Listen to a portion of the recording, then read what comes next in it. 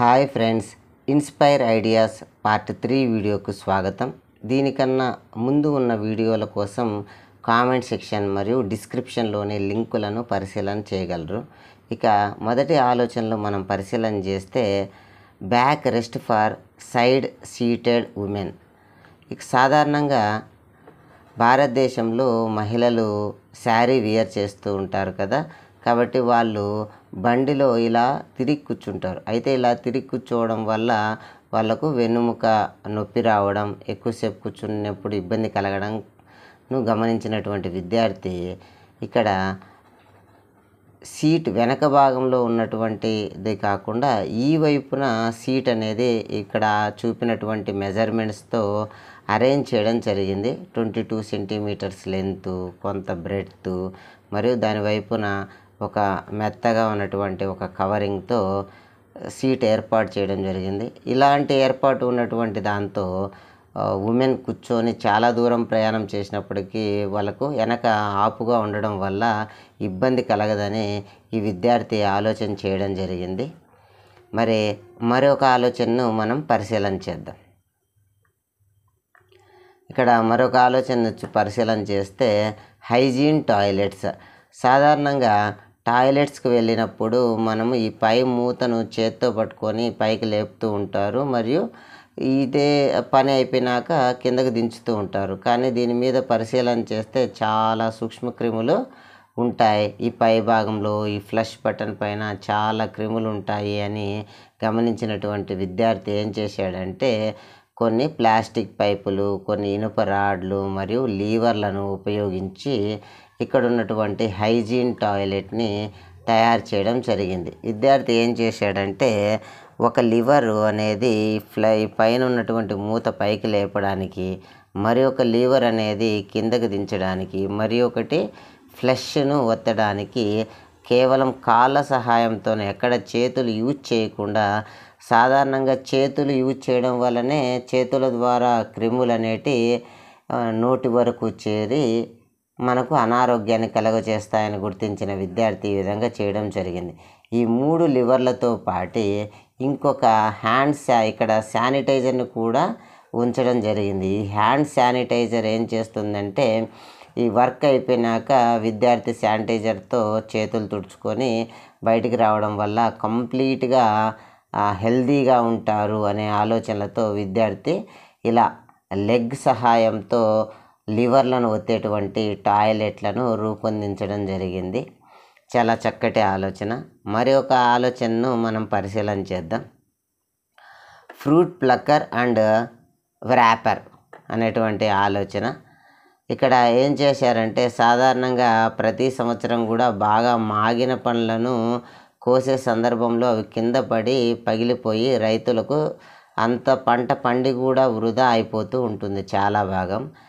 So ఇలా వృధా కావద్దు. ఏ పండు కూడా వృధా కాకుండా పగిలిపోకుండా రైతుకు నష్టం కలిగించకుండా ఉండడం కోసం వీళ్ళు ఒక ఇన్నోవేటివ్ ఫ్రూట్ ప్లక్కర్ వ్రా అండ్ వ్రాపర్లను తయారు చేయడం జరిగింది. ఇక్కడ ఏం చేస్తారంటే ఒక హోలో బాటిల్ తీసుకొని దానిలో వీకట్ లాగా కత్తిరించబడి ఉంటుంది. దాంతో లాగితే ఆ ఫ్రూట్స్ అనేటివి కిందకు రావడం జరుగుతుంది. అయితే కిందకు వచ్చిన ఫ్రూట్స్ కింద పడిపోకుండా ఇలా పెద్ద బుట్టలాగా ఏర్పాటు చేస్తే ఆ బుట్టలో పడిపోతాయి అన్నమాట ఈ రెండు కాంబినేషన్ వర్క్తో వీళ్ళు రాలిన పళ్ళకు దెబ్బ తగలకుండా పండ్లను కోసే విధానాన్ని కని ఉంచడం జరిగింది. ఈ ఆలోచనను ఉంచడం జరిగింది. చాలా చక్కటి ఆలోచన. మరి ఒక ఇన్స్పైర్ ఆలోచన. Smart school bag. ఇక్కడ చూపినట్టు స్మార్ట్ స్కూల్ బ్యాగ్ అనేది విద్యార్థులకు విద్యార్థులకు రకరకాలుగా ఉపయోగపడుతూ ఉంటుంది. ఇందులో అమర్చినటువంటి విషయాలు చూస్తే ఇది విద్యార్థులకు కంఫర్ట్ని సేఫ్టీని మరియు హైజీన్ని ఇస్తాయి.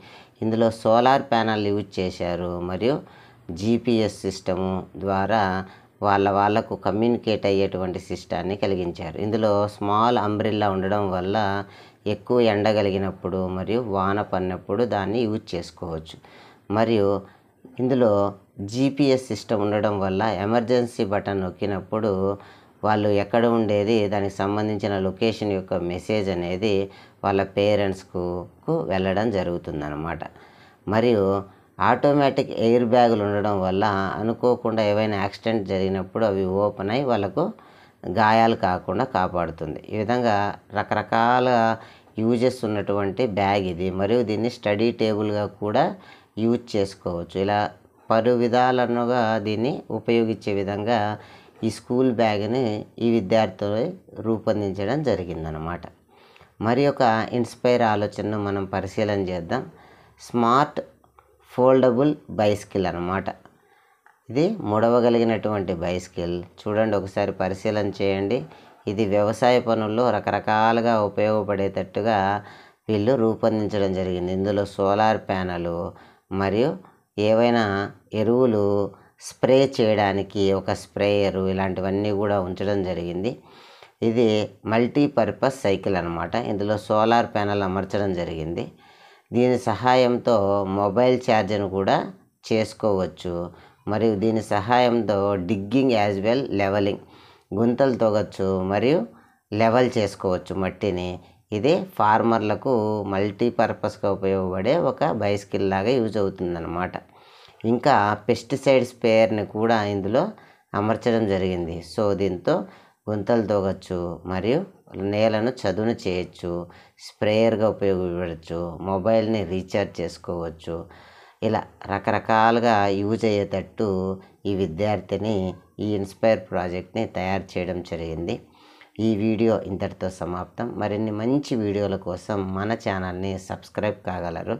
మరిన్ని ఇన్స్పైర్ ఆలోచనల కోసం కింద డిస్క్రిప్షన్లో మరియు కామెంట్ సెక్షన్ని పరిశీలన చేయగలరు. Thank you one and all.